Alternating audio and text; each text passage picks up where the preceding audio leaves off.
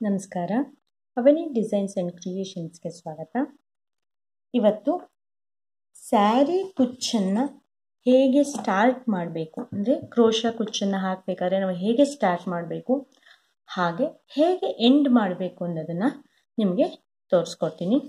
ನಾನಿಲ್ಲಿ ಆರೆಳೆ ದಾರವನ್ನು ಮಾಡಿಟ್ಕೊಂಡಿದ್ದೀನಿ. ನಾನು ನಾರ್ಮಲ್ ಬಟ್ಟೆಗೆ ಹಾಕಬೇಕಾದ್ರೆ ನಿಮಗೆ ಇಲ್ಲಿ ಒಂದು ನಾಟ್ ಹಾಕ್ಕೊಂಡು ತೋರಿಸ್ತೀನಿ. ನಾವು ಸೀರೆಗೆ ಆ ರೀತಿಯಾದ ನಾಟನ್ನು ಹಾಕ್ಕೊಂಡ್ರೆ ಸೀರೆ ಗಲೀಜಾಗಿ ಕಾಣಿಸುತ್ತೆ. ನಮ್ಮ ಸೀರೆ ಕುಚ್ಚೋ ಬಿಸ್ನೆಸ್ಸನ್ನು ನಾವು ಇಂಪ್ರೂವ್ ಮಾಡಬೇಕು ಅಂದರೆ ನಮ್ಮ ಕೆಲಸವನ್ನು ಕೂಡ ಅಷ್ಟೇ ನೀಟಾಗಿ ಮಾಡಬೇಕಾಗತ್ತೆ. ನಾನಿಲ್ಲಿ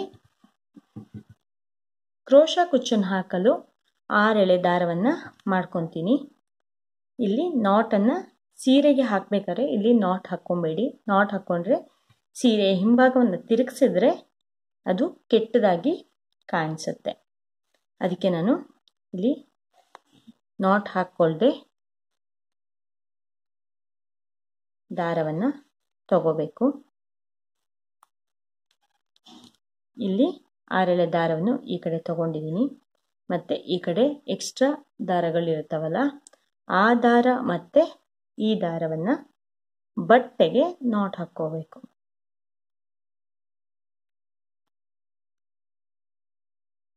ನೋಡಿ, ಈ ಥರ ನಾಟ್ ಬಂದರೆ ನಮಗೆ ಕಾಣಿಸೋದಿಲ್ಲ. ಈ ಎಕ್ಸ್ಟ್ರಾ ಉಳಿದಿದ್ದ ದಾರವನ್ನು ಏನು ಮಾಡಬೇಕು ಅಂತ ಹೇಳ್ತೀನಿ. ನಾವಿಲ್ಲಿ ಸೀರೆಗೆ ಕುಚ್ಚನ್ನು ಕಟ್ತೀವಿ ಅಂತ, ಅಂದರೆ ನಿಮ್ಗೆ ಒಂದು ನಾವೇನು ಡಿಸೈನ್ ಹಾಕ್ತೀವೋ ಆ ಡಿಸೈನಲ್ಲಿ ನಾವು ಕುಚ್ಚನ್ನು ಕಟ್ತೀವಿ ಅಂತಂದರೆ ಫಸ್ಟ್ಗೆ ಮತ್ತು ಸೀರೆಯ ಕೊನೆಗೆ ಕುಚ್ಚು ಬರೋ ಥರ ಐಡಿಯಾ ಮಾಡಿಕೊಂಡು ಡಿಸೈನನ್ನು ಹಾಕೋಕ್ಕೆ ಸ್ಟಾರ್ಟ್ ಮಾಡಬೇಕು. ಈಗ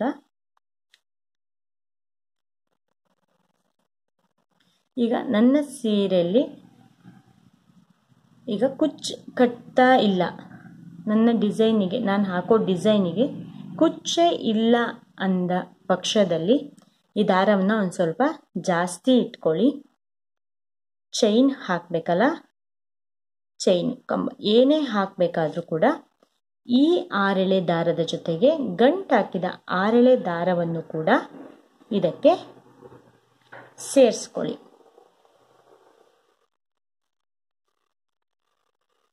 ನೋಡಿ, ಇಲ್ಲಿ ನಾನು ಮೂರು ಚೈನ್ ಆಗೋವರೆಗೂ ಕೂಡ ಇಲ್ಲಿ ದಾರವನ್ನು ಸೇರಿಸ್ಕೊಂಡು ಮಾಡಿದ್ದೀನಿ ಇನ್ನು ಇಷ್ಟೇ ದಾರ ಇದೆ. ನೆಕ್ಸ್ಟ್ ಸೇರಿಸ್ಕೊಳ್ಳೋಕ್ಕೆ ಬರ್ತಾ ಇಲ್ಲ. ಅದಕ್ಕಾಗಿ ಏನು ಮಾಡಬೇಕು ಅಂದರೆ ಹೀಗೆ ಫುಲ್ ಎಳ್ಕೊಬಿಡಿ.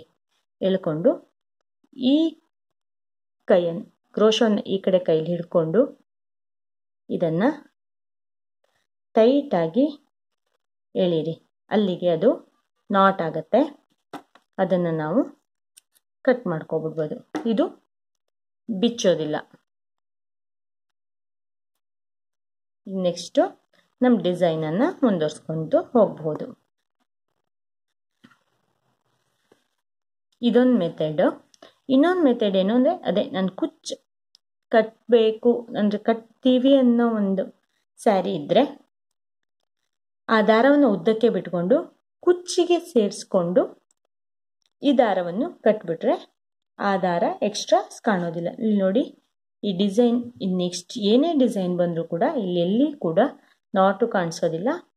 ಗಲೀಜಾಗಿ ಕಾಣಿಸೋದಿಲ್ಲ. ಸೀರೆ ನೀಟಾಗಿ ಕಾಣಿಸುತ್ತೆ. ಹೀಗೆ ನಮಗೆ ಏನು ಡಿಸೈನ್ ಬೇಕೋ ನೆಕ್ಸ್ಟು ಹಾಕೋತಾ ಹೋಗಬೇಕು.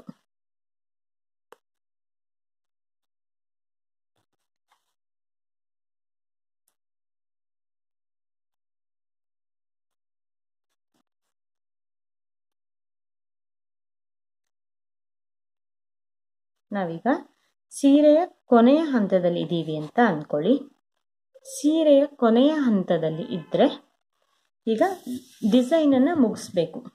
ಡಿಸೈನನ್ನು ಮುಗಿಸೋದು ಮತ್ತು ನಾರ್ಮಲ್ ನಾಟ್ ಹಾಕಿದ್ರೆ ಹೆಚ್ಚಿಗೆ ಕಾಣಿಸುತ್ತೆ. ಅದಕ್ಕಾಗಿ ಏನು ಮಾಡಬೇಕು ಅಂದರೆ ಲಾಸ್ಟಿಗೆ ನಮ್ಮದು ಡಿಸೈನ್ ಕಂಪ್ಲೀಟ್ ಆಯಿತು ಆರ್ಚ್ ಕಂಪ್ಲೀಟ್ ಆಯಿತು ಅಂದಮೇಲೆ ಮೂರು ಚೈನನ್ನು ಎಕ್ಸ್ಟ್ರಾ ಹಾಕಬೇಕು. ಹಾಕಿ ಹೀಗೆ ಸ್ವಲ್ಪ ಉದ್ದ ಎಳ್ಕೊಂಡು ಇಲ್ಲಿ ಮಧ್ಯ ಕಟ್ ಮಾಡಬೇಕು. ನೋಡಿ, ಒಂದು ದಾರ ಈ ದಾರದಿಂದ ಬಂದಿರುತ್ತೆ. ಒಂದು ಇಲ್ಲಿ ಇದಾಗಿರುತ್ತೆ. ಈ ದಾರವನ್ನು ಹೊರಗಡೆ ತೆಗೆದುಬಿಡಬೇಕು. ಇದನ್ನು ಟೈಟಾಗಿ ಎಳಿಬೇಕು. ಈಗ ನೋಡಿ, ನಾನು ಇದು ಕುಚ್ಚಿ ಕಟ್ತಾ ಇದ್ದೀನಿ ಅಂತಂದರೆ ಈಗ ಇಲ್ಲಿ ಕುಚ್ಚು ಬರುತ್ತೆ ಅಂದ್ಕೊಳ್ಳಿ ಈ ಕುಚ್ಚಿನ ಜೊತೆಗೆ ಇಲ್ಲಿ ಸೇರಿಸ್ಬಿಡ್ತೀನಿ. ಅದು ಕುಚ್ಚಾಗಿ ಬರುತ್ತೆ. ಇಲ್ಲ. ಇನ್ನೂ ಒಂದು ಐಡಿಯಾ ಏನು ಮಾಡ್ಬೋದು ಅಂದರೆ, ನಾವು ನೀಟಾಗಿ ಇಲ್ಲಿ ಕೂಡ ಅಂಟಿಸ್ಬಿಡ್ಬೋದು ಇನ್ನೂ ಒಂದು ಮೆಥಡ್ ಏನು ಮಾಡ್ಬೋದು ಅಂದರೆ, ಇಲ್ಲಿ ನಾವು ಲಾಸ್ಟಿಗೆ ಒಂದು ಲಾಕ್ ಇರುತ್ತಲ್ಲ, ಈ ಲಾಕಿಂದ ಈ ಲಾಸ್ಟಿಗೆ ಚೈನ್ ಹಾಕಿರ್ತೀವಲ್ಲ ಎಕ್ಸ್ಟ್ರಾ ಉಳಿದ ದಾರವನ್ನು ಈ ಲಾಕಿನ ಒಳಗಡೆ ತೆಗೆದುಬಿಡಬೇಕು. ತೆಗೆದವಾಗ ಇದು ಕೆಳಗಡೆ ಬಂತು. ಹೌದಾ? ಈಗ ಇಲ್ಲಿ ಗಮ್ ಹಚ್ಚಿರೆ, ಅಯ್ಯೋ, ಸೀರೆ ಗಮ್ ಆಗುತ್ತೆ ಅಂತ ನಿಮ್ಗೆ ಅನಿಸಿದ್ರೆ ಇಲ್ಲಿ ಜಿಗ್ಜಾಗ್ ಇರುತ್ತಲ್ಲ, ಜಿಗ್ಜಾಗಿನ ಒಳಗಡೆ ಕ್ರೋಶವನ್ನು ಓಡಿಸಿ, ಕ್ರೋಶವನ್ನು ಹೀಗೆ ಹೊರಗಡೆ ತೆಗಿರಿ. ಈ ದಾರವನ್ನು ಈ ಬಟ್ಟೆಯ ಒಳಗಡೆ ತೆಗಿರಿ ಅಂದರೆ ಇದೊಂದು ಸ್ವಲ್ಪ ಕಷ್ಟ ಆಗುತ್ತೆ. ಅಂದರೆ ದಪ್ಪ ಇರುತ್ತಲ್ಲ, ಜಿಗ್ಜಾಗ್ ಮಾಡಿರೋ ಜಾಗ.